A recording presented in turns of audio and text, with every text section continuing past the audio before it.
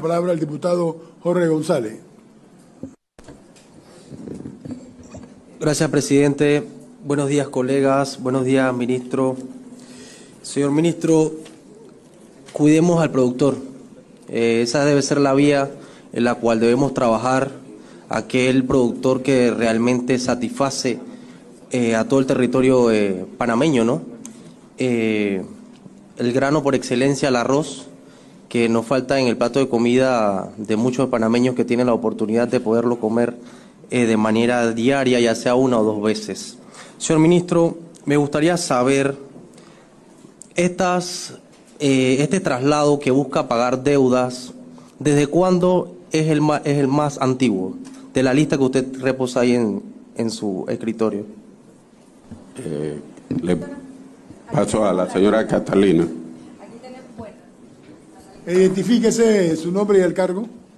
Buenas, Catalina Garrido, directora de incentivos y fideicomiso. Bueno, nosotros gozamos de una lista según llegada a nuestra dirección, porque eh, esto es un, esto empezó como, como resoluciones ministeriales que gozan de un checklist en donde me dice a mí que esto debe eh, salir de una regional, de una agencia, luego una regional y luego me llega a mí. Una vez me llega a mí que cumpla con todos los requisitos, por supuesto se monta en una plataforma y se le hace, teniendo los recursos por supuesto, se le hace el pago al productor. Sí, excelente por la docencia, pero quiero saber desde cuándo, o sea, es la, la más antigua que reposa ahí en la lista, o sea, la deuda más, más antigua. Es decir, mantiene una lista si la misma tiene una fecha? ¿Desde cuándo se le debe a esa persona o a ese productor? Eh, sí, en este momento no tenemos la fecha, pero con mucho gusto le podemos mandar el detalle. Esto apenas son 60 productores, 62 productores, creo que son alrededor de, en total son creo que son más de 1.200, pero sí le, se están haciendo, hay deudas hasta del, qué sé yo, desde el 2014. Eh, aquí no tengo la fecha, pero con mucho gusto le podemos mandar un detalle de, de todo, eh, creo que son más de mil. En este momento no las tenemos, pero con mucho gusto se las haremos llegar. Eh, gracias, señor ministro. Le hago la consulta porque en el periodo pasado el ministro Augusto Valderrama eh, se presentó aquí en la Comisión de Presupuesto en la cual se le aprobó un monto de, ya le digo específicamente, 29.9 millones de dólares para fortalecer el sector agropecuario, lo cual iba a ser destinado o correspondía a pagar pagos de subsidios del Programa Nacional de Granos correspondiente. Me gustaría saber si esta lista que mantiene tiene alguna relevancia con esto también, porque acá el monto que manejamos en, según los datos es de 28.4 millones de dólares que se utilizó en ese traslado, o mejor dicho, en ese monto que se aprobó aquí en la Comisión de Presupuesto para poder pagar.